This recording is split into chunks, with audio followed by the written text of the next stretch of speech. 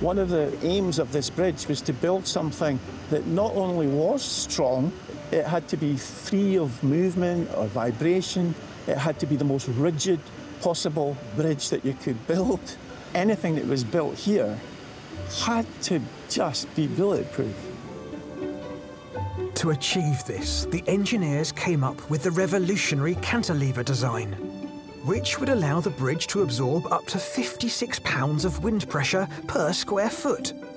That's enough to withstand a hurricane blowing from both ends.